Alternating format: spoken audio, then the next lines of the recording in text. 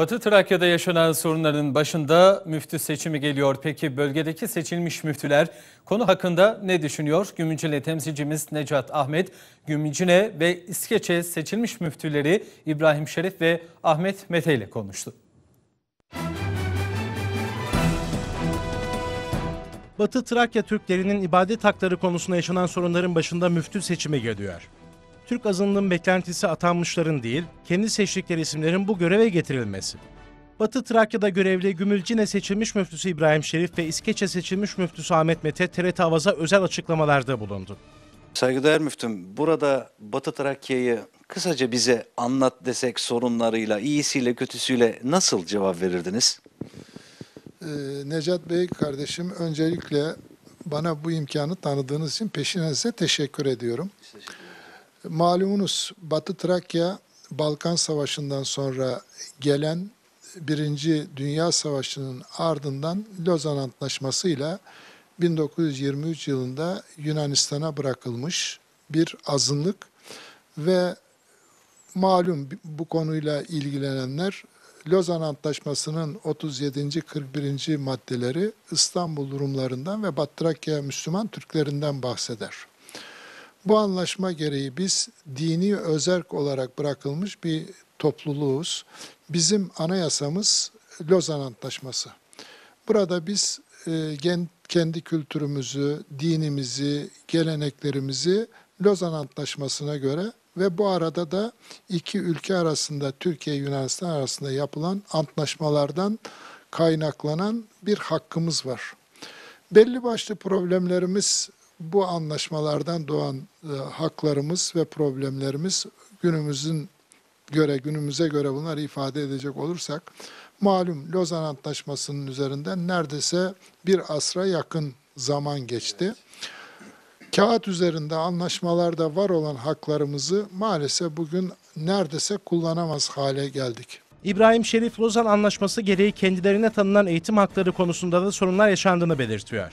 Lozan'a göre, ikili anlaşmalara göre, kültür anlaşmalarına göre biz kendi eğitimimizi kendimiz düzenlememiz lazım. Okullar açmamız lazım. Öğretmenlerimizi kendimiz tayin etmemiz, kendimiz bulmamız lazım. Ama ne yazık ki aradan geçen 100 sene sonra, bir asır sonra eğitimimize kendimiz sahip çıkamıyoruz. Neredeyse devlet Yunan milli eğitimine adapte etti azınlık eğitimini. Artık e, çocuklarımız kendi kültüründen, kendi inançlarından uzaklaştırıp Hristiyan belki de Müslüman Türk geleneğine ait olmayan kültüre doğru adapte etmeye ve edilmeye başladılar. Bu bizim için en büyük problemlerden birincisi. Gümülcine seçilmiş müftüsü İbrahim Şerif, yine antlaşmalardan doğan haklar nedeniyle yaşanmaması gereken müftülük sorunu konusunda da açıklamalarda bulundu. Anlaşmalarda müftünün nasıl iş başına geleceği ve yetkilerinin ne olduğu tespit edilmiş, belirlenmiş. İki ülke bunları tespit etmiş. Müftüler halk tarafından seçilir, yetkileri de belli. Bu yetkileri kullanır. Kadılık yetkileri var ve azınlığın lideri olma durumu var. Azınlık kendi liderini, dini liderini seçmesi gerekirken, antlaşmalarda bu varken ne yazık ki 1985 yılında Gümülcine'de, 90 yılında İskeçe'de ve Dedeağaç'ta müftüler vefat ettikten sonra devlet bu, buralara azınlığa sormadan müftüler tayin etmiştir. Ve azınlık da bunu kabul etmemiştir. Bugün fiili olarak iki tane müftülük vardır. Azınlığın seçtiği müftüler bizler ve bir de bunun yanında devletin tayin ettiği müftüler. Bu azınlıkta başlı başına bir sorun. Devletin yapması gereken azınlığa sorması, azınlıkla anlaşarak veya en azından yasaların, anlaşmaların öngördüğünü yapması. Batı Trakya'daki Türk azınlığının yaşadığı sorunlar üzerine açıklamalarda bulunan bir diğer isimse İskeçe seçilmiş müftüsü Ahmet Mete oldu. Mete, kangren haline gelen sorunlara çözüm bulunması konusunda atılan adımların yetersiz olduğu görüşünde. Batı Müslüman Türk azınlığın sorunları kangrede olmuş sorunlardır. Bunu devamlı şekilde dile getiriyoruz. Fakat e, şu anda kangrel olan sorunlarda e, kesimler zuhur etmeye başladı. Bunları kısa kısa eğer özetleyecek olursak e, bir eğitim sorunumuz vardır. Efendim okulların sorunu, kitapların sorunu, öğretmen sorunu buna ek olarak şu anda okulların kapatılması söz konusu ve biliyorsunuz bir sürü okul bu sene kapandı.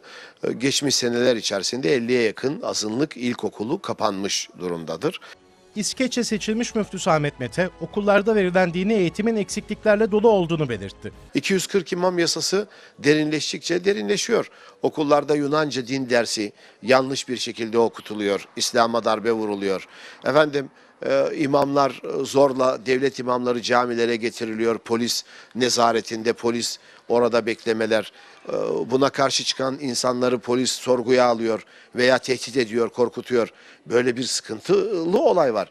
240 imam yasasının biz bitmesini beklerken derinleşiyor. Müftülük sorununun bitmesini beklerken yeni yeni efendim katmerler açıyor. Mesela e, Sayın İbrahim Şerif Gümüşhane müftüsü, İskeçe müftüsü biz mahkemelere veriliyoruz şu anda. Tekrar makam gaspından dolayı mahkemeler açılıyor. E bunları e, bir araya topladığınız zaman vakıflar sorunu aynı şey. Vakıflar bittikçe bitiyor, kayboluyor, kimsenin haberi yok. E, Vakıflar Yunan emellerine uygun bir şekilde çalıştırılıyor. Dolayısıyla Batı Trakya'dan sorunlar biteceği yerde daha çok derinleşiyor